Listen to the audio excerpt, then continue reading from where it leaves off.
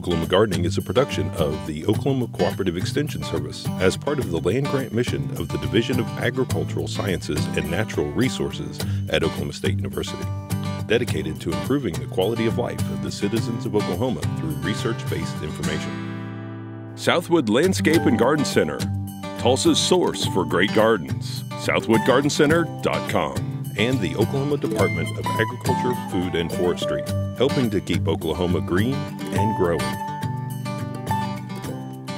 Today on Oklahoma Gardening, host Casey Hentges takes a look at the brand new Tahoma 31 Bermuda grass with OSU Extension turfgrass specialist Justin Moss. And we come to the final stops on our tour of gardening in northwest Oklahoma with a hike up Black Mesa to explore the wide variety of native plants in the far corner of the state. And a visit to the Selman Bat Cave in Freedom, Oklahoma, where the sky is filled with flapping wings.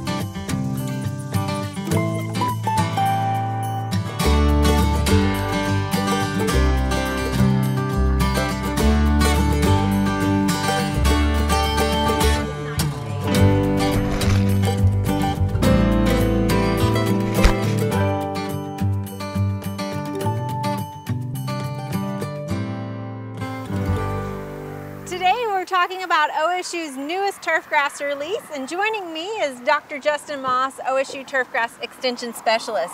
Dr. Moss, this is it. it. It's beautiful. This is it. This is our latest release from the Oklahoma State University Bermuda grass breeding team.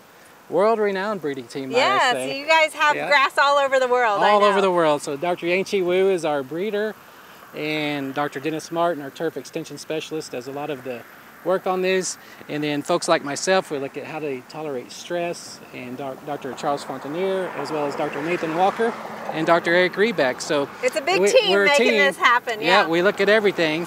And so this is the latest and greatest. It's called Tahoma 31 Bermuda grass. Okay.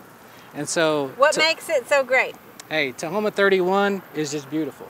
So that's that's probably the, the, the first thing is it has excellent turf grass quality. What is that? That just means it's it's, it's a beautiful green color, mm-hmm. it's nice and dense, and it grows quite well in our environment. And so what happens with these grasses is our, our breeder, Dr. Wu, will develop several different experimental genotypes, and we kind of test them and narrow them down. We might start with thousands of plants, right. and eventually, over many, many years, get down to that one or two. You know? Yeah, and this is the one that and made is the, the one. cut. That's this exciting. Now I know Northbridge and Latitude 36 were touted as being very cold tolerant. How does uh, Tahoma add into that? So yes, lat, uh, Latitude 36 Northbridge, excellent cold tolerance. Tahoma does as well.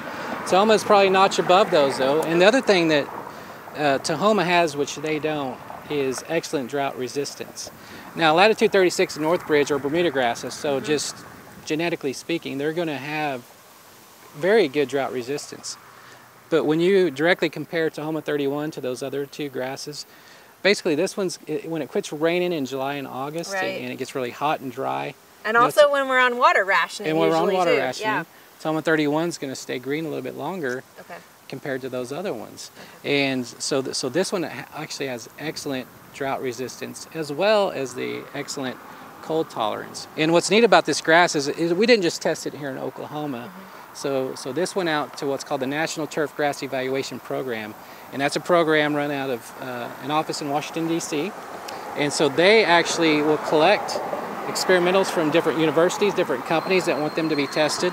And then they contract with universities all across the United States to uh, test these grasses for five years. So this just, they don't just look at it one season or two seasons. You know, this is a five-year long test for these. And Tahoma 31 consistently at all those universities consistently ranked at or near the top in all those tests over those five years. And so that's why this one has come out as winner. It's not just because we at Oklahoma State think it's, it's really good and well adapted, but it actually performed well all across the United States. That's fantastic. If I'm a new homeowner and maybe I've just built a house and I'm looking to put in a new lawn, or yeah. maybe I have an existing lawn that's already Bermuda grass, why would I maybe not go with the cheaper option, yeah, right. the common Bermuda grass? I mean, Bermuda grass, as we know, grows great in Oklahoma. That's right. So you can get what's uh, commonly called common Bermuda grass pretty cheap in Oklahoma. So that's Cynodon dactylon. This is a hybrid, so it's actually a combination of two different species, uh, the common Bermuda grass, Cynodon dactylon, but also African Bermuda grass, Cynodon transvaalensis. And just overall, the, the hybrids are going to have a usually a finer leaf texture and a, and a better look to them. Basically, when, when we look at them visually, they're more appealing to our eye. Right. And so it has better overall, excellent turf quality. But also, compared to those common Bermuda grasses, this one's going to have that cold tolerance improved and drought resistance improved. So you might So- save on the water bill too a little so bit. You might, and you're just going to have an overall better product. And actually, if we if we can walk over and, just just kind of look Mm-hmm. at, at this area of the lawn here, and and this is a this is actually a homeowner's this, lawn. actually yeah. a homeowner's Yeah. lawn that we did a demo in. Yeah. And we put another uh, uh, experimental grass here. They've they've been treated the same. Which has and- really been it's no really been low right? low to no maintenance. low input, yeah. and you can really see the difference that there's there's no difference in how these two sides were treated but but you can see the the Tahoma 31 is nice and dense and green and not very many weeds Yeah. where this other experimental grass here that it's one of ours one of our OSU grasses it, it's not going to make the cut probably Right. right, but treated the same and, and just it's it's a little not quite as dense and, and vigorous and, the a, a lot of weeds know, here Yeah, there's Lot definitely of more weeds. weeds here. So Yeah. is that just because it's got a thinner open canopy That's to it right. And versus so, and so your common Bermuda grasses, like we were talking about, are going to have canopies more open, like this one does.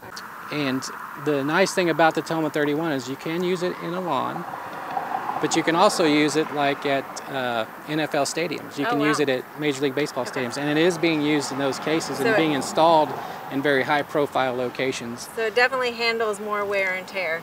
It can it can definitely handle some wear and tear. So where sure. can homeowners find this grass and can you do it through seed or only through sod? Yeah, this is only through sod because it is that hybrid. And um, what's neat about this is it's been released through Oklahoma State University, and a company called Sod Production Services out of J- Virginia Okay. has obtained the license to it. And so we have, uh, uh, so they're the ones that are actually responsible to sub-license to sod growers across the United States or even in other countries for that matter. And so they have li- sub-licensed Tahoma 31 to uh, uh, currently Sod by Sherry and Riverview Sod Ranch. And so it can be purchased uh, in spring of 2019 in Oklahoma, whether that's for uh, you know the sports field situation or the golf course situation or even the homeowner situation. So. All right, well, thanks for sharing this information. I know it was a team of people that finally uh, came up with this conclusion of this grass, and it looks great. Hey, it's a team effort and also uh, working with our industry partners and our sod growers uh, to get this product out to homeowners and consumers.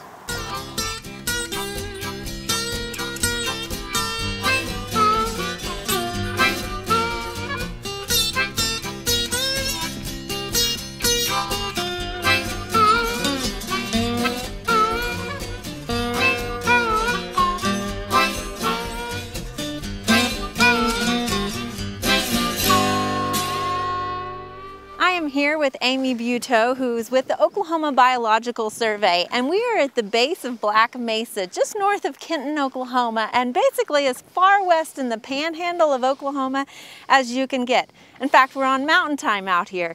And Amy, we came out to talk a little bit about the ecology that you see here.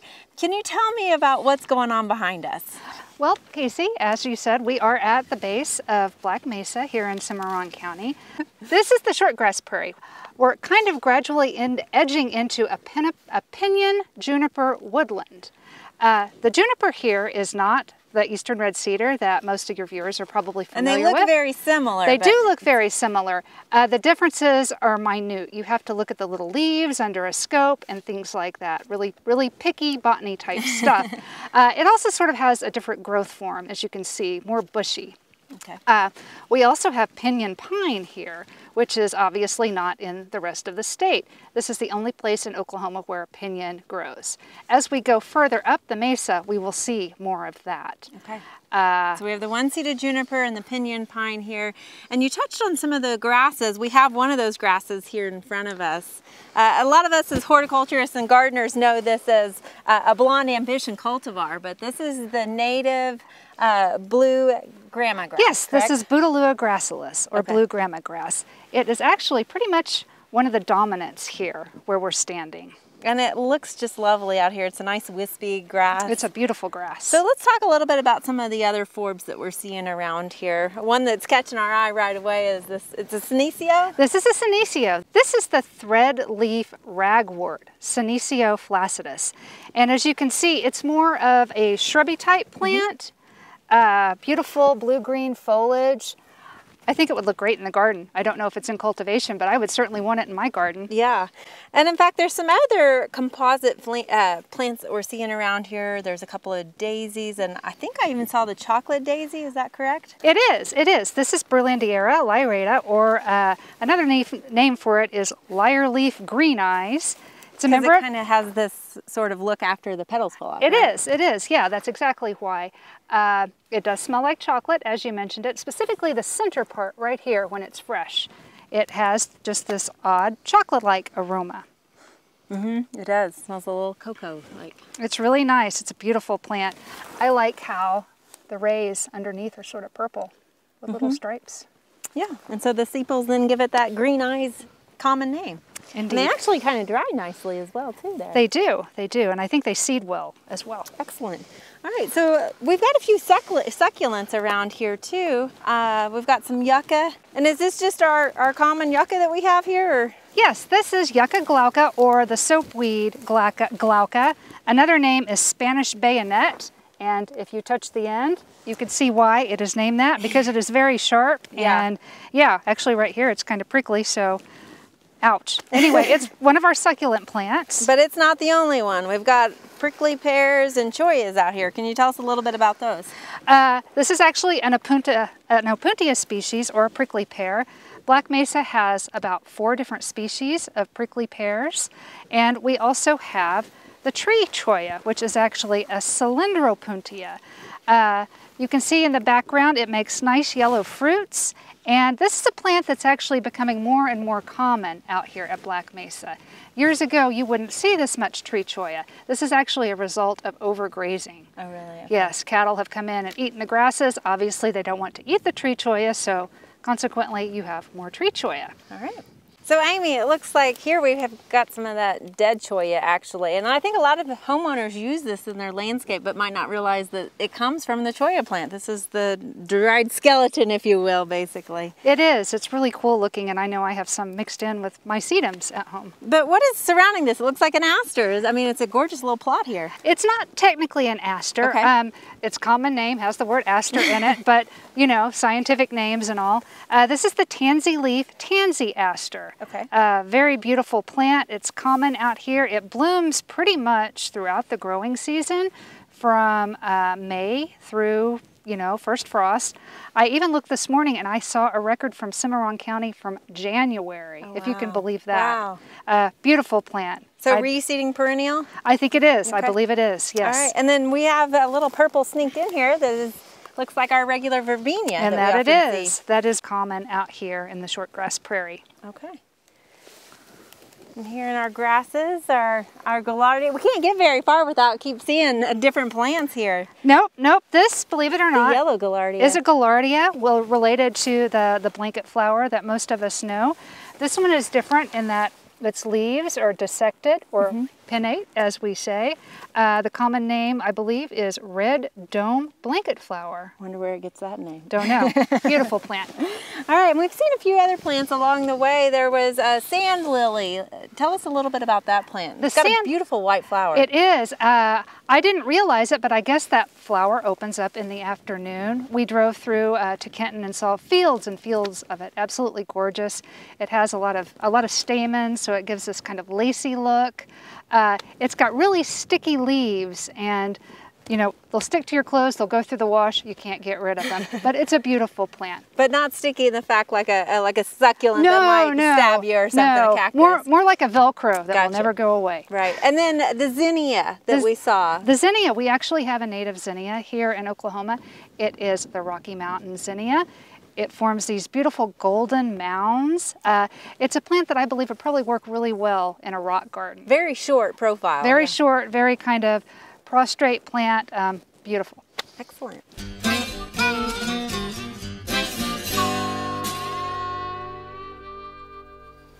So Amy, we're in a different location. We're now at the Etling Lake in the Black Mesa State Park, just a little bit further from the actual Black Mesa. And so being in a more wet condition, we're finding a few different plants here. Yes, yes. This pretty guy is the copper globe mallow. It's actually in the same family as hibiscus. Uh -huh. And if you look closely at the flower, that is quite evident. Oh yeah, definitely has a mallow-like flower to it. This is a beautiful plant and I wish I had it in my garden. I love the color of it. Yeah, it's a nice color here. It's a really unique color for a flower, right. I would think. I normally don't see that. so, and it looks like pollinators are enjoying it yes, quite a bit are. too. they are. So we mentioned the, how important the grasses are to the shortgrass prairie, but we hear about Old World Bluestem a lot, and I know we have some of it here. Can you tell us a little bit about Old World Bluestem versus some of the other grasses we might find around here? Old World Bluestem, which is this fellow right here, is an exotic invasive grass that is found in Oklahoma. Uh, as we drove into the park, you could see it all along the roadsides. Uh, I believe it was brought in for cattle, and you know, as so many things do, it escaped. You can tell Old World Bluestem apart from our native silver bluestem by its inflorescence. Old World Blue Stem has these little individual fingers that you could sort of pull apart and see, little, little wavy fingers.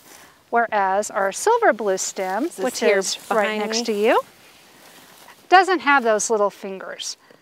It has little tiny branches, but they're kind of stubby and they just don't really make you think of fingers. And plus, it's really kind of fuzzy and white. Mm -hmm. Again, this is a native species, but it is also found in sort of degraded areas uh, like pastures and overgrazed sort of places. And, and there's some other plants that we might see around here. You mentioned some buckwheats. Can you tell us about the buckwheats that we might find around here? The buckwheats are the genus Eriogonum, which is a really, really large genus as you move towards the west. There are about 250 species. Uh, there are two that are more common in the body of the state that we're used to, but out here you get some really, really neat ones. They're little mat forming plants and they grow up on the rocks. And they're, they're really, really beautiful little plants. They're just unique in their own special way. And I'm not quite sure if anybody grows them for gardens, but I think that they would probably look really nice in a rock garden. Yeah, it, it seems like they can really handle those conditions pretty definitely, well. Definitely, definitely. Well, Amy, this has just been fantastic. We've enjoyed walking around well, and exploring uh, the native areas with a, a, botanist and, and seeing your hand lens out and looking at some of the plants a little closer. so thank you for sharing this information with us. Well, thank you for having me. I appreciate it.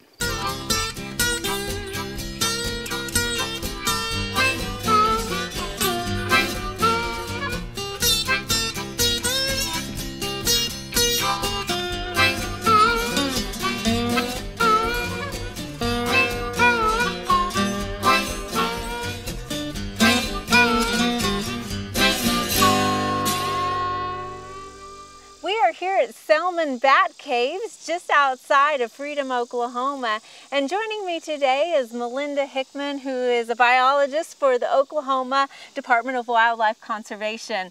And mm-hmm. Melinda, tell us why we're here. I'm so excited. There's bats. there, there, are bats. Uh, this is an amazing area. You are in what's called the mixed grass uh -huh. prairie region. So we have short grasses and tall grasses. But as you can see behind us, we have this, this gypsum topography. And because we have caves, we have bats here in this particular area. Okay, and we don't just have any normal bat here. Oh, heck no. Right, what bat is it that we're looking at? That we're looking at the Mexican free-tailed uh-huh. bat, uh -huh. which is a migratory bat. So it does not hibernate here in Oklahoma. Okay. It actually flies up from, believe it or not, Mexico uh -huh. uh, to come up and, and, and breed and give birth to pups, and then the pups fly and then they start to work their way back south. They are following insects. Now all the bats that are here are actually female, is that correct? They are all females and not only are they all females, they were pregnant when they came to the Selman Bat Cave. Okay. And they, there's an amazing courtship that takes place as the male and females migrate north. Mm -hmm. And it's, in fact, it's the first, they've been apart for a whole year, the poor males and females. And but as they start migration, they're together again, and a lot of courtship goes on, a lot of mating. Um, about the middle of Texas, all of that changes. The females that are pregnant continue migrating generally speaking, they will return to the cave from which they were born. Okay. And the males are footloose and fancy free for a whole nother year. To continue on. Absolutely. And so in six to seven weeks, you've got this, um, this amazing emergence of females and the pups. And here we have over a million Mexican free-tail bats. That's a lot of bats. It's a lot of bats. so we typically see them come out at dusk. Yes. Right. So or a um, little bit or a later, before, or yeah. a little early. Yeah. So we try to time it about the right time. Yes. Um, and how long will that uh, last as they come out of the cave? Well, we we have been watching this for more than 20 years now, and when the pups, well, all the pups are flying, Mm-hmm. it takes more than 45 minutes for them to all come out. And when you see how thick they are, Yeah. and you do some uh, math, Uh-huh. and 45 minutes of that, it is a lot of Right, bats. right. And it almost looks like smoke the way It they're does. coming out, and like a school of fish, basically. Oh, very aquatic. Yeah, okay, yeah. good. Yes. so, Melinda, when they start coming out of here, do they always go in the same direction? And what are they looking for? Okay. Insects, I'm guessing. yes, definitely insects. Uh, they they really will vary their pattern, and it's all about the moisture in the area surrounding. Uh, Mesonet Okay. helps us uh, look at. There's three different stations. We can look at where the moisture level is, the highest level, and almost always the bats will head in that direction because the insects that they really love are caught up in the the higher elevations where that moisture is being worked on. Okay. So uh, because they hunt so high, they are eating beetles and they're eating moths Oh. primarily. So unfortunately, they're not the bats that are eating the mosquitoes Right. because they're not coming down low enough. But we do have a lot of bats that uh, in Oklahoma that do. Yeah. But these these guys are eating those moths that are a real problem for agriculture, for um, our farmers who are growing corn in particular, the corn earworm, nasty, nasty pest.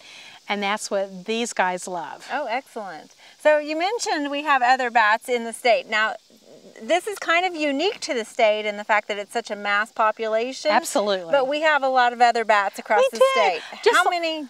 Oklahoma is so diverse in wildlife and plants. We have 24 different species and subspecies of bats that use Oklahoma at some point in their in their annual cycle. Okay. Melinda, I know a lot of homeowners, you know, people might be scared if they see bats around. What should they do if they see them or what should they think about them? Well, they should be really glad that they're there. Okay. Um, they are eating the mosquitoes that we don't like, the bugs that bother us in our gardens. What for Oklahoma, we have a few bats that are found all over the state, and they're the ones that like to be in our neighborhoods. And they like trees. And our most common is the eastern red bat. And if you've ever seen the red coloration on a, on a red fox, mm-hmm. same color, beautiful okay. red color. And she hangs up in your tallest tree during the day, usually cottonwoods, sycamores. Are they a solitary bat then? Or? They are solitary. Okay. They're not colonial like our Okay. Mexican free-tailed bats. So this is open to the public to come out. How, how does a, a person come and view these bats? Okay, so we have what we call the Selman Bat Watches, and they take place in the month of July, you know, the hottest time of the year. but that's when the, the females, the moms, and the, and the pups are Are flying, so it makes a really large, extravagant spectacle. Um, and to, to, to do that, you actually have to enter a, a registration form by mail. Mm-hmm. And there's a registration period, but it always starts the Tuesday following the Monday Memorial Day. Okay. And it's about 10 business days to get your registration form in. It doesn't matter if you got it at the beginning of the period or after, because when that period is over, we actually conduct a drawing. Oh. And there's a preference point to it. If you have tried and didn't get to go, your your preference is higher. Okay. But if you've been in the past, then it's going to be lower Okay. because we're trying to give everyone A chance to see the it. opportunity. Mhm. But unfortunately, it just happens in the month of July. And only for a few nights a week, correct? It's two uh, the Friday and Saturday, the four weekends following the Fourth of July holiday. Okay. Well, Melinda, thank you Oh. for sharing this with us, and let's sit So back and watch exciting. some bats, Let's shall do. we? Let's do.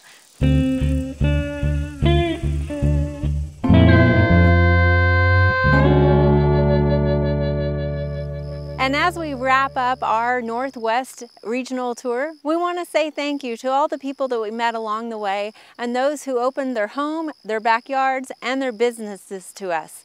Without their generosity, we wouldn't be able to bring you the diversity that we experienced on this regional trip. And to our viewers, we want to thank you for joining along with us on our regional tour, and we hope that you take time to come explore northwestern Oklahoma. There are lots of great horticultural events this time of year. Be sure and consider these activities when you're making your plans for the weeks ahead.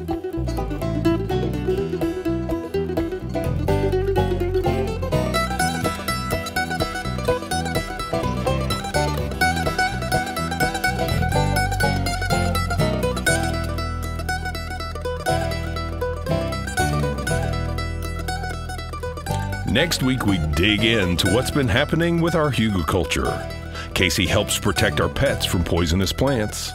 And we meet a group of undergraduate students from colleges around the state who spent last summer working on their own horticultural research projects at Oklahoma State University. We hope you join us then for more TV You'll Grow to Love.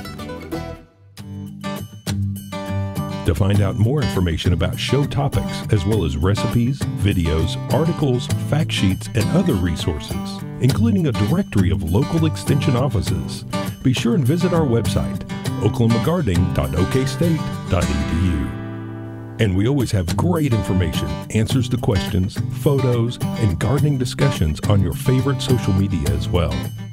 Join in on Facebook, Twitter, and Instagram.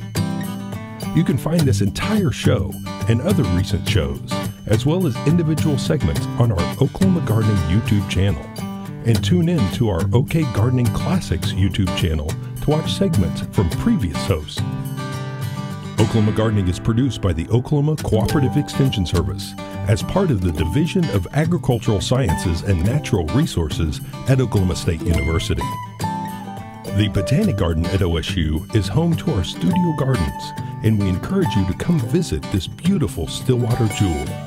We wish to thank our generous underwriters, Southwood Landscape and Garden Center, and the Oklahoma Department of Agriculture, Food, and Forestry.